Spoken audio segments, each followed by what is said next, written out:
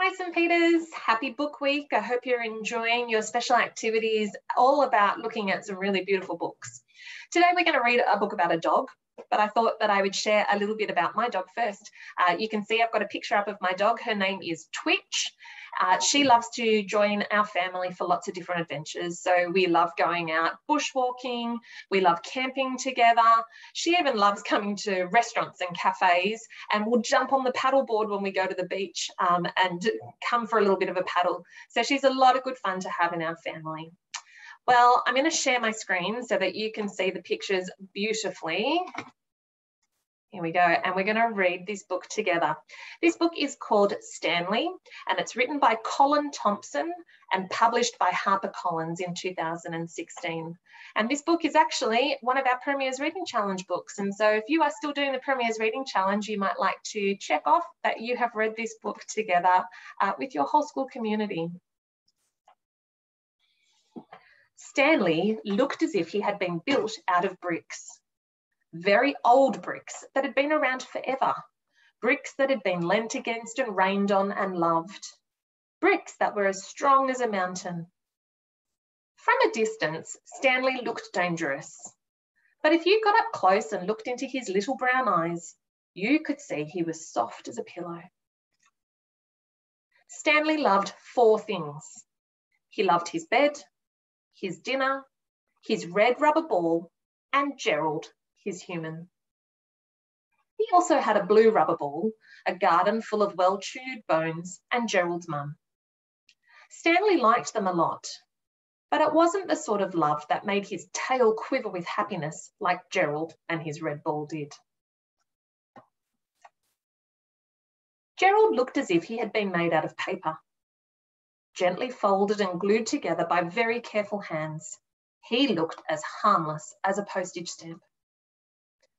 If you got up close and looked through his thick glasses into his little blue eyes, you could see that, yes, he was indeed harmless. Gerald loved three things. He loved his mum and Stanley and Lego, but not necessarily in that order. Most days, Stanley walked Gerald to school. Then he went home again because, apart from the sports teacher, who looked like he could be Stanley's cousin, dogs were not allowed into the schoolyard. And when school finished, Stanley went back and waited with all the mums and dads until their children came out. Everyone knew Stanley, and apart from two of those strange sort of people who only like cats, everyone was his friend. Sometimes Stanley took Gerald's mum to collect him from school, but most days he went on his own. Gerald's dad never went to the school because Gerald didn't have one. He was very quiet in Stanley's house. There were no brothers or sisters, or dads or grannies, or other dogs, or even a cat, budgie, or goldfish. Stanley knew how to bark, but no one had ever heard him do it. There never seemed to be any need to. Nothing bothered him, not even the birds in the back garden when they sat on his head. Life was peaceful but sometimes Stanley felt quite lonely. Gerald and his mum were wonderful, but neither of them ever came and curled up in his basket with him. Well, Gerald had when he had been very little, but he hadn't smelt very nice in those days, and it had made Stanley's eyes water. We are, Stanley thought, all alone with ourselves. The road stopped at the end of Stanley Street and there was a gate in the wall, and the gate went into a small park. The park was peaceful too. Sometimes there were other dogs and children, and mums and dads and other people like mums and dads who were older and wrinklier. At home, Stanley's red rubber ball only bounced three times before it hit the fence. In the park, it bounced more times than Stanley could count, and his legs got very tired chasing it, but it was so exciting especially if other dogs chased his ball too. Most dogs dropped the ball and ran when they saw Stanley charging towards them. Except for one. She kept the ball in her mouth and growled. That's my ball, Stanley barked. The dog barked back, but because she had the ball in her mouth, Stanley couldn't understand what she was saying. Then she ran away and took Stanley's wonderful, beautiful red rubber ball with her. Stanley ran back to Gerald and whinged, but Stanley was a dog and Gerald was a human.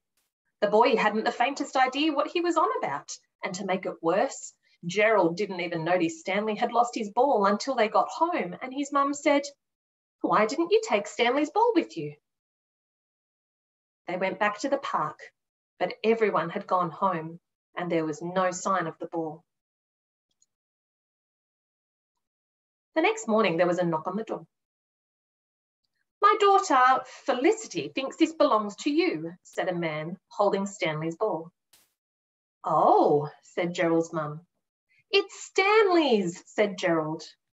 Yes, it is, said Stanley, and it's been chewed. Lulu's chewed on it a bit, the man said. So we got you another one. Oh, you didn't have to do that, said Gerald's mum. Yes, you did, Stanley said to himself. Your dog has completely ruined it. I'll never be able to look at it the same way again. Then the man was in the kitchen and the air was full of coffee and fresh biscuits. Stanley took his new ball out into the garden and Lulu followed him with the old one in her mouth and they both lay down in the sun.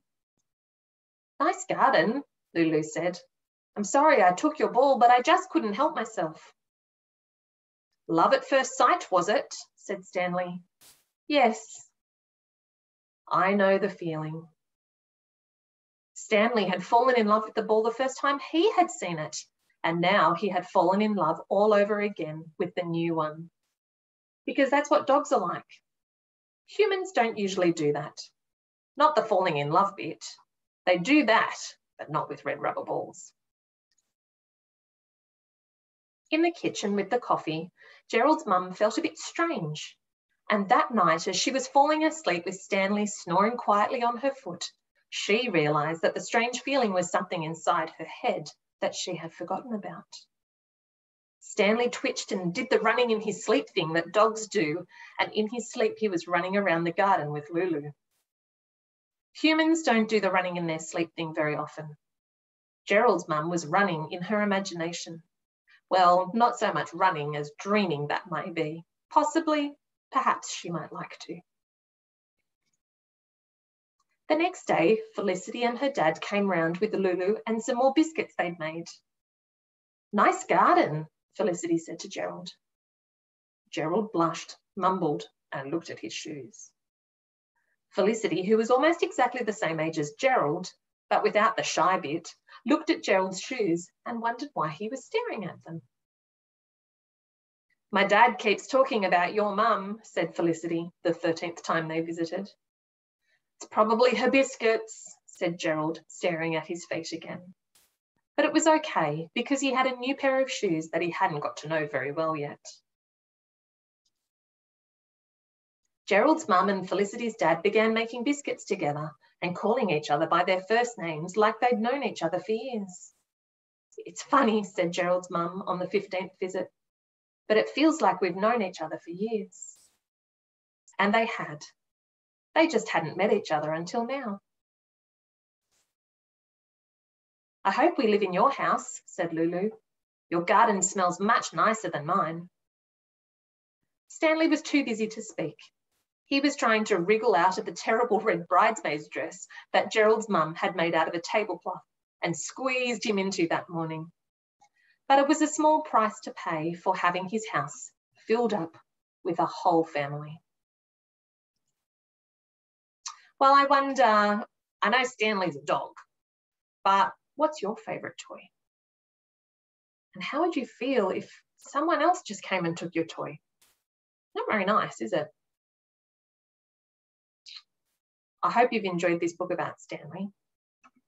And I'm really looking forward to seeing you all back on site soon. All of these beautiful books that our teachers are reading are here at our school library. And our library is also waiting for you to come back and read all the amazing books that we have. I hope you are enjoying some really great books at home by yourselves as well. Have a great rest of your day, St. Peters, and we really look forward to seeing you soon.